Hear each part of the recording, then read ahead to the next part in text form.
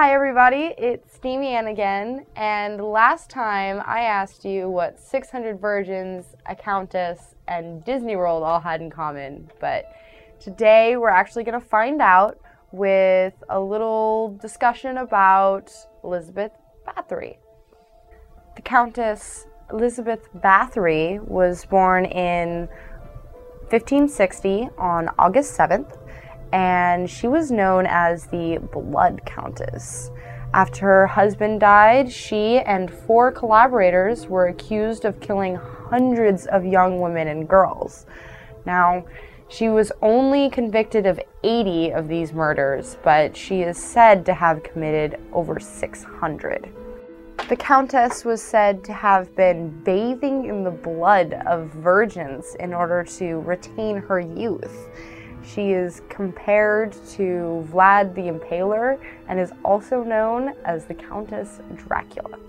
Now, what makes her really interesting is that she was a very educated woman who was very much about women's rights. She is said to have intervened on several occasions for women whose husbands had been captured during the wars, or even in one instance, a woman whose daughter had been raped and impregnated. Now, to kind of explain this weird dichotomy between her helping women and her strange pastimes, it is also said that she had strange seizures as a young woman. Now, this could have been due to psychological disorder or perhaps epilepsy, but it might explain her erratic and psychotic behavior later in life. As was typical for the time period, she was married at the age of 12, and upon entering her husband's castle, she was introduced to his dungeons and special modes of discipline. While it doesn't seem that he actually tortured anyone himself, he was really hard on his servants and even on his wife. He introduced Elizabeth to some strange ways of being hard on the servants such as covering them in honey and leaving them outside tied up for bugs to eat at and sting, and also taught her how to freeze a young girl during the winter by covering her in water and waiting for her to harden. In around 1600, her husband died, and that's when Elizabeth really started to dabble in the occult and become quite deranged. She was said to have been practicing sorcery and really trying to explore what kind of supernatural things could give her extra powers. She was already quite cruel, and it is said that all of this strange behavior really took a turn when a maid was brushing her hair and pulled it too hard. Elizabeth turned and slapped the girl on the hand so hard that it drew blood. And as she was holding her hand and bleeding, some of it dripped onto Elizabeth's skin, and she believed that that part of her skin became very soft. So she stripped the maid, cut her throat, and drained all of her blood into a bath. Now, as a little side note, blood does actually contain a lot of nutrients that are very good for the skin and hair. Um, so while this isn't quite a good practice, it was quite useful for her, and she did become a lot softer and have very shiny hair. After this incident, a couple of her trusted maids started bringing her other girls that she could use for this purpose. Um, actually, Elizabeth started off trying to give these girls proper burials at a local Protestant church, but after a while, she kept bringing in these girls who had died of unknown causes, and the priest got a little suspicious, and he refused to do any more burials.